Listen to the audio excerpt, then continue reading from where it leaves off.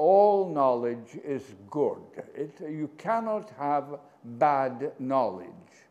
You can have bad use of knowledge, but you cannot have bad knowledge. There is nothing that you shouldn't be able to learn about.